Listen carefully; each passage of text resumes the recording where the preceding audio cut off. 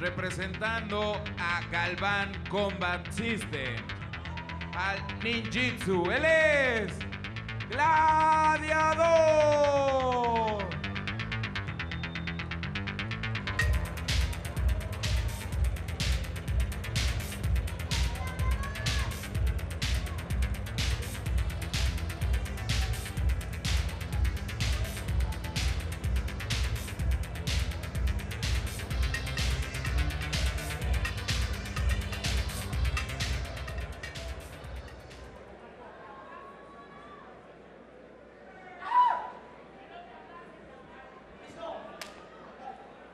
Pues una pequeña corrección aquí en esta cartelera donde van a estar disputando la categoría Mantes, Mantis, perdón, el Es de suavecito. 64, 60 a 65 Así kilos. es, el suavecito contra el gladiador, un peleador muy versátil, lo recordarás, mi estimado burro, el suavecito que ha ganado con técnicas de sometimiento. Muy suavecito, Listo, precisamente. vámonos, de este lado.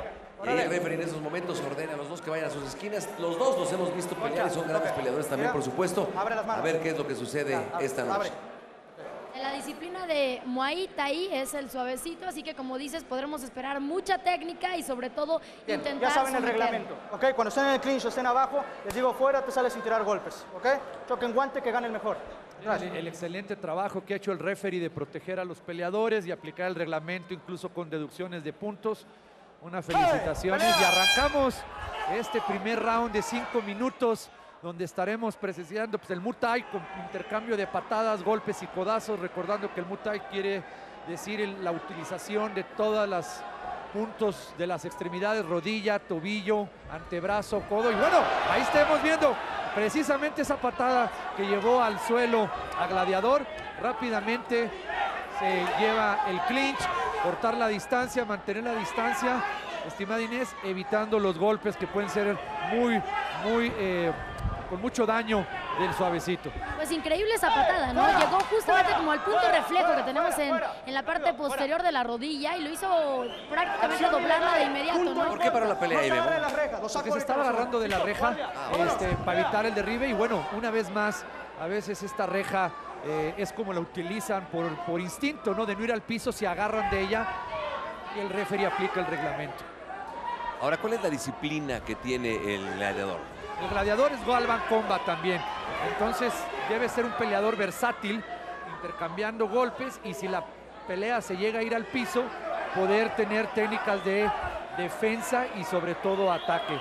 Pero Cabe- sí, Ah, perdón, no, no, perdón. Cabe mencionar que Gladiador tomó el puesto del troyano, porque el troyano era quien realmente tenía que haber estado disputando esta, esta pelea, pero bueno, tuvo un percance o algún... Problema de salud, ¿no? Sí, fue un problema de salud lo que reportaron y bueno, estos peleadores siempre profesionales, listos para pelear y en un momento dado suplir.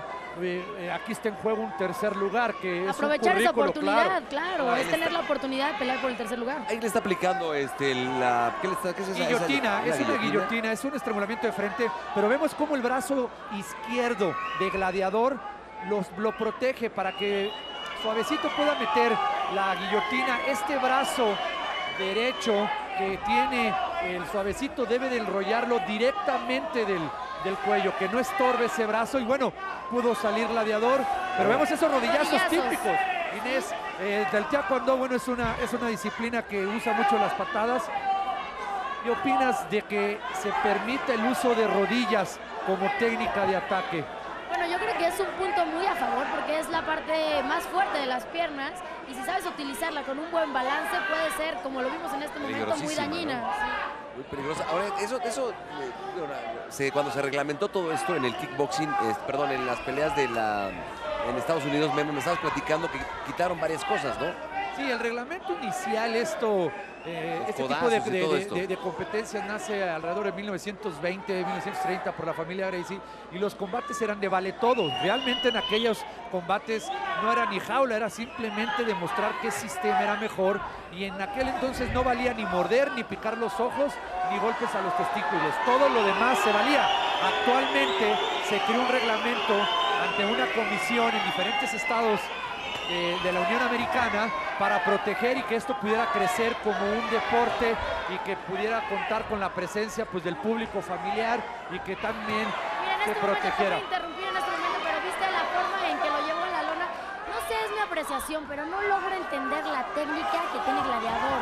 Como que no se ha definido bien hacia dónde va y creo que suavecito lo tiene más que controlado, ¿no? Totalmente de No, acuerdo ya, contigo, Inés. Ahí incluso expuso el brazo el gladiador, que fueron los golpes que, que provocó el suavecito y ahorita está intentando una palanca de brazo que fue como ganó Diosdado, si lo recordamos previamente, y está a punto de entrar, pero esa defensa con las piernas, siendo suavecito de Muay tampoco es muy puro en su técnica de piso. Por eso probablemente no pudo eh, Terminarla, someter, ¿no? sí, terminar el sometimiento, pero está en una posición de control, que si recordamos su segunda eliminatoria, ganó, vamos a ver, Real, arriba, vámonos, El arriba. referee- Arriba, parece rápido. vamos a entender qué es lo que, lo que está Contacto ilegal, mostrando. punto en contra. Contacto ilegal, creo que fue un golpe en la cabeza. En la nuca, lo- sí, un golpe, un contacto ilegal. Y bueno, el referee muy pendiente, ahí podemos ver incluso un malestar de- del gladiador. ¿Puede pelear? Y bueno, vamos ¿Hasta a ver cuánto si... tiempo, ¿Hasta cuánto tiempo tendría de recuperación? no? Eh, depende del tipo del golpe, guardia, puede ser hasta tres minutos, Inés. Normalmente cuando son un golpe muy fuerte en los bajos, es de tres hasta cinco minutos pudiera, pero normalmente es de uno a tres minutos y el ojo clínico del referee cuando le pregunta al peleador si puede continuar. Ahora, yo, pues sí, tiene un chipote bastante grande. Ahora yo te, te hago una pregunta, Memo. ¿Qué pasa si le da un golpe que no es válido en la nuca y en este no puede continuar el, el? Pueden descalificar, pueden descalificar al, al- al- al peleador que ¿Y ganaría- cometió la falta y este caso? automáticamente se le daría la pelea al, gladiador o al quien sufrió la, la falta, ¿no? Eso está muy claro en el reglamento. Y bueno, como mencionábamos antes, es parte del desarrollo de este deporte, las artes marciales mixtas, que cada día lo practican más y más y más peleadores a nivel mundial. Se acabó el primer round. Y pues la segunda pelea que nos vamos al segundo episodio. Con una, yo creo que un- lleva un, es un margen de, de diferencia de, de- del señor este. El suavecito. El suavecito, el, ¿no? El control y como muy bien decía Inés, este Gladiador ha sido un poco, pues no se ha definido su estrategia, Inés, como tú mencionabas. ¿Dónde ves tú un poquito la diferencia en la estrategia del Gladiador con la de Suavecito? Bueno, yo sí creo que haya una diferencia clara, que es la técnica. La técnica que está implementando en este momento eh, Suavecito es muy clara, va a atacar mucho con las piernas, va a hacer un contacto mucho con las rodillas también, que es lo que está buscando. Sin embargo, Gladiador, lo que hay que admirar en este momento es la resistencia que tiene, porque aun cuando estaba prácticamente sometido, que creíamos que iba a pedir Se ya que hasta ahí llegara con una palanca que le estaba en ese el momento eh, suavecito, no se dio por vencido y salió del apuro. Y bueno, lo seguimos viendo aquí, así que no hay que descartar nada ni dar nada por hecho.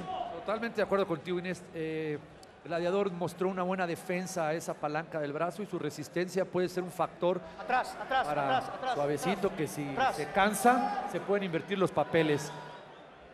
Bueno, y en esos momentos va a dar inicio el ¡Eh, segundo pelea! episodio. Adelante, pues. Cuatro minutos de este segundo round. Vamos a ver si hay algún cambio en la estrategia de Gladiador, que por lo pronto mantiene la distancia, intercambia golpes y bueno, Suavecito es bueno en esto.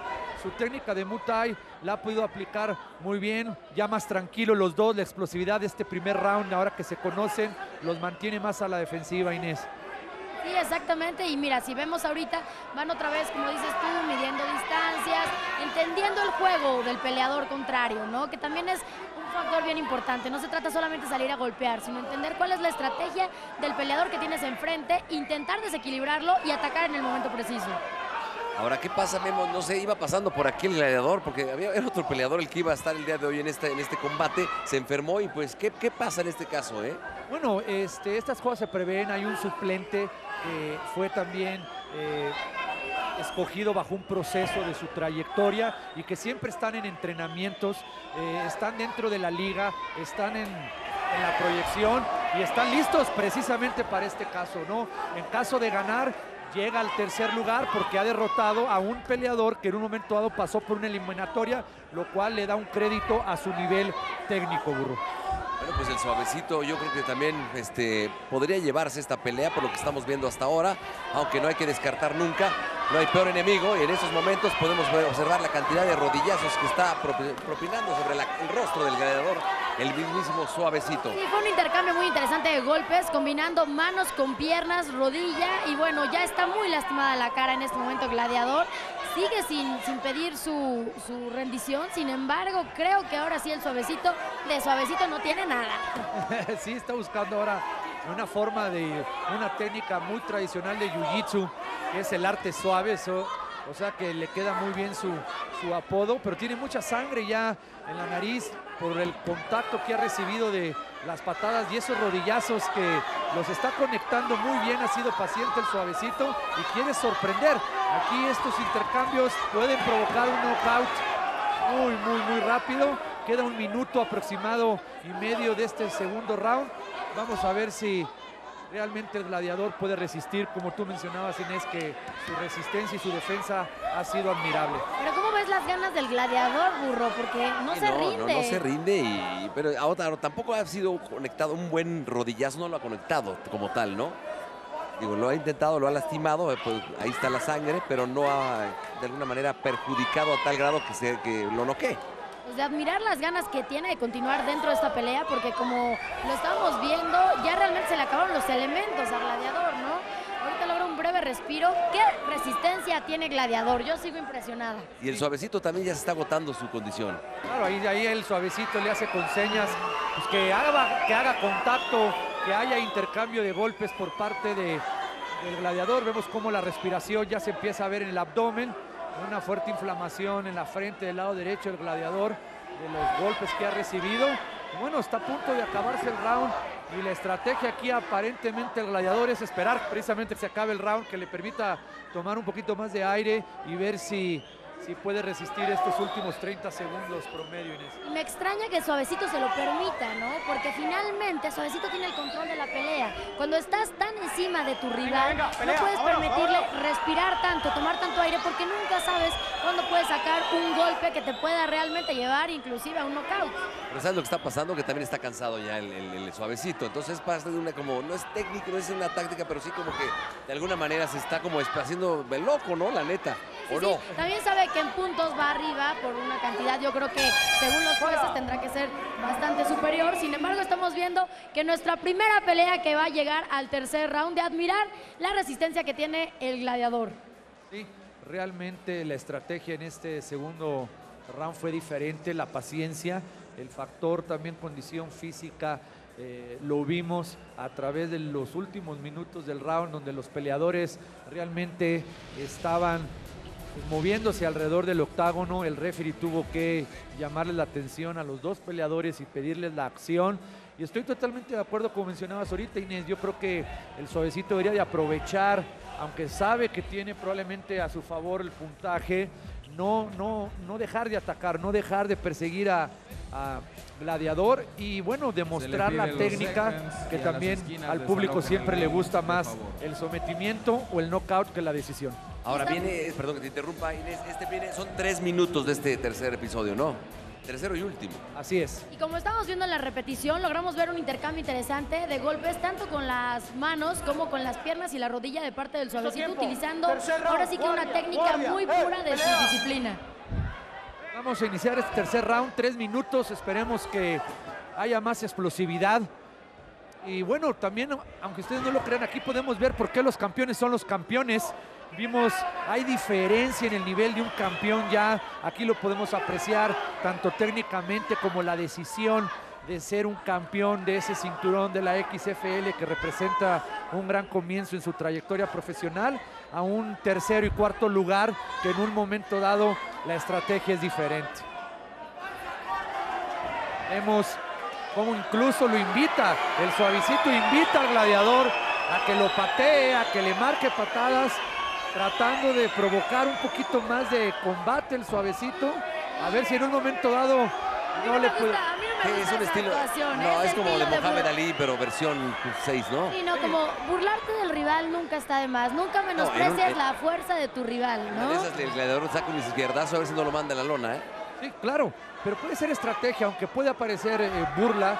Estoy de acuerdo contigo, Inés. Es también una manifestación de hacia el compañero Oye, el de entra, no veniste a pelear, no a, a bailar. Oye, el gladiador no tiene, no tiene, este, ¿cómo se dice? El- La guardia arriba. La guardia, no tiene, no, no, no tiene. Ni arriba ni abajo, no tiene.